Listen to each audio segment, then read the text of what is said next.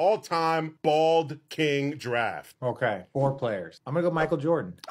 It's like actually made looking bald cool, as, as does he, but not as much. Yeah. First one that came to my mind, give me Vin Diesel. If we're gonna talk about movies, you went with the wrong choice. Obviously, The Rock. Oh shit! All right, well now I'm taking the second pick. We need international flair. Give me Pitbull. Oh, come on, Mr. Whoa, 305. Mr. That's strong. Worldwide? Yes, he rocks it better yes. than almost anyone. No one rocks it the way Pitbull with the suits and the glasses. No, I'm gonna go Patrick Stewart. He's Jean Luc Picard and Professor X. You get two for one with him. Oh. I like Bruce Willis. Oh, yeah, we got to show love to Bruce. We got to give my boys Shout out. flowers. Jersey guy, hundred percent, fully support that. My last one, I'm gonna go with Mr. Clean. Ooh, a I'm gonna go with Mr. brand. Clean, the most famous bald brand out there. There's no body that you guys are gonna come up with that's gonna beat this We, team. I don't want to get slapped at the Oscars, but we could go. Jada. You've already lost. We're going to go with the number one bald king, Voldemort. You guys would have been better going Charles Barkley. Nah.